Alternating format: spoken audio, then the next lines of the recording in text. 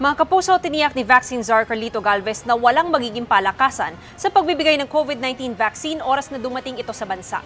Sinabi ni Galvez sa panayam ng Double B sa News TV kanina na immoral kung magkakaroon pa ng politika sa pagbibigay ng bakuna.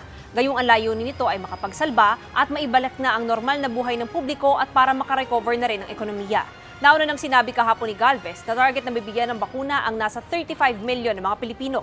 Prioridad na mabigyan ang mahihirap sa lugar na mataas ang COVID cases, medical frontliners, military at police personnel at iba pa. Patuloy na ang border restriction ng Baguio City sa mga kalapit na bayan nito matapos magkausap at magkaayos ang mga lokal na alkalde ng Benguet. Sa huli nagkaintindihan sila sa nais ni Baguio City Mayor Benji Magalo na makontrol at mapababa ang kaso at transmission ng COVID-19 sa syudad. Nagkaroon tuloy ng mahabang pila sa mga municipal at provincial health centers sa pagkuha ng medical certificate bilang pangunahing requirement sa mga checkpoints ngayong araw.